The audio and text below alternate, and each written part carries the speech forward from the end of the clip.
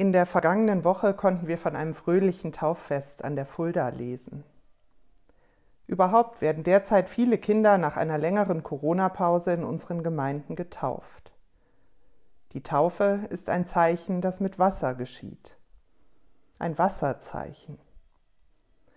Wasserzeichen finden wir auf jedem besseren Blatt Schreibpapier. Und auf ein Blatt Papier kann viel geschrieben werden. Gescheites,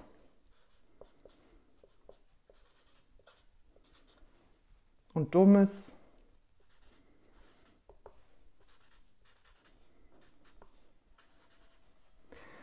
Böses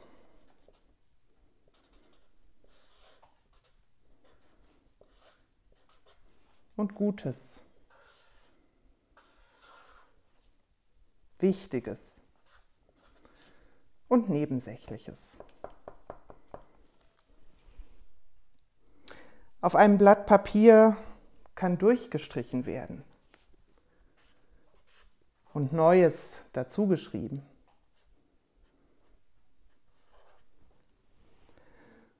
Ein Blatt Papier kann zum Schluss sehr schön aussehen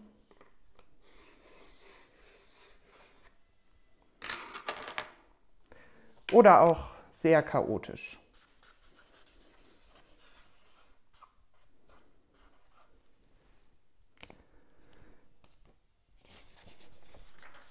Was aber nicht zerstört werden kann, ist das Wasserzeichen im Papier.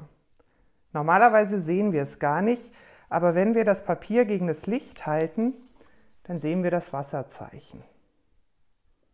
Das Wasserzeichen das sagt, wer das Papier gemacht hat. Und ein Wasserzeichen kann niemand ändern oder wegradieren. Wie ein Blatt Papier ist auch der Mensch. Am Anfang ist er noch unbeschrieben. Aber im Lauf seines Lebens wird jeder Mensch zu einem beschriebenen Blatt. Viele schreiben auf dieses Blatt. Eltern, und Freunde.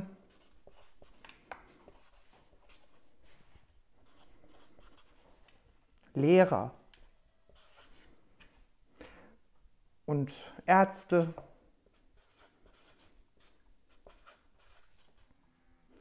Das Leben.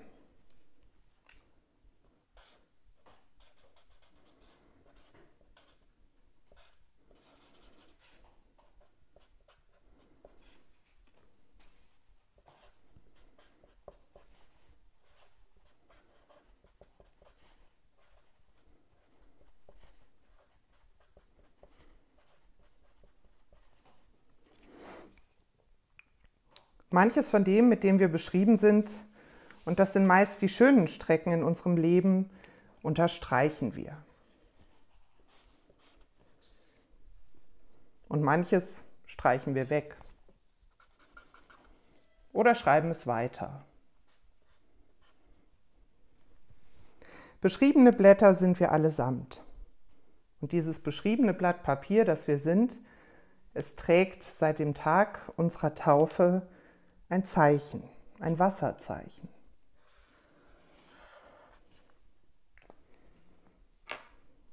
Das Zeichen, das uns sagt, du gehörst zu Gott. Du bist in Gottes Hand und von seiner Liebe wird dich nichts und niemand trennen, niemals. Du trägst sein Zeichen. Und was auch immer auf diesem Blatt geschrieben, durchgestrichen, unterstrichen wird, auf dem Blatt unseres Lebens, das Wichtigste bleibt unverändert stehen, das Wasserzeichen. Selbst wenn unser Lebensblatt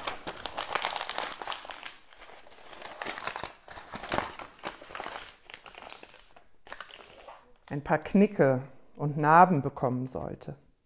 Selbst wenn neben dem fröhlichen auch manch schweres Bild darauf gemalt wird selbst wenn manche Träne darauf fällt.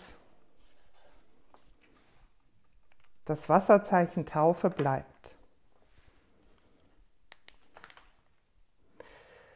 Es bleibt, dass wir zu Gott gehören, dass Gott uns annimmt.